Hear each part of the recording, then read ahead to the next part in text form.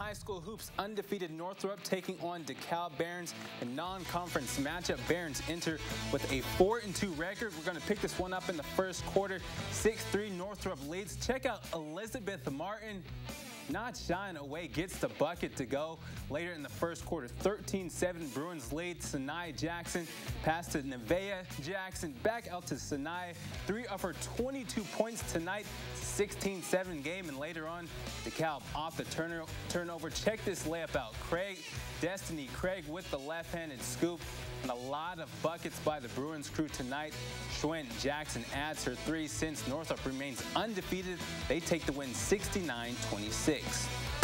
All right, Columbia City hosting Bishop Luers tonight. Eagles are riding a five-game win streak, looking for a six in a row at home tonight. The Knights starting off scoring on the first possession. That's Addie Shank with the lay-in. Shed scored three more times this quarter, but the Eagles respond. Molly Baker makes the layup coming off a nice pass from Kendra Sheets, and the Eagles had no trouble scoring in this one. Faith Fry with a big shot to tack on three more points for Sea City. The first quarter was competitive, and here come the Eagles.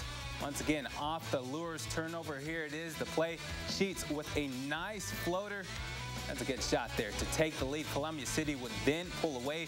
Eagles get the win 78-45.